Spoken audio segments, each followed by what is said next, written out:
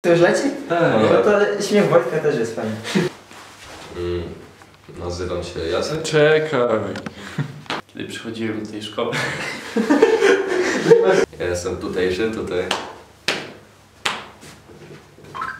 Z Rybnika. chodziłem do gimnazjum nr 17 w zespole szkół numer 1 w Rybniku imienia Powstańców Śląskich. Ale to nie ma dużo do rzeczy. Ważne, że jestem z wami.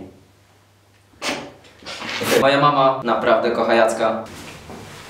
Kiedy przychodziłem do tej szkoły rok temu, taki ucieszony, bardzo ukochany. Mówię, coś tu trzeba zmienić w tej szkole, bo ja taki społeczny bardzo jestem. I ogólnie Nie gib się tak. nie gibię się.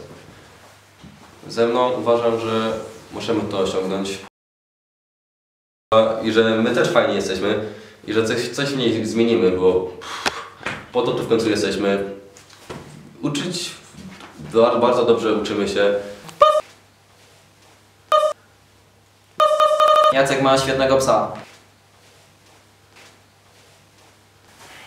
Jacek zna się na muzyce. Chodzi do szkoły muzycznej, dobre dzwonki. Aga nie zdała prawa jazdy.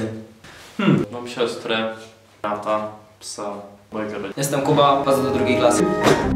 Jacek będzie świetnym przewodniczącym. Jak się nie będzie wcinać. No generalnie nagrywamy spot, tylko że...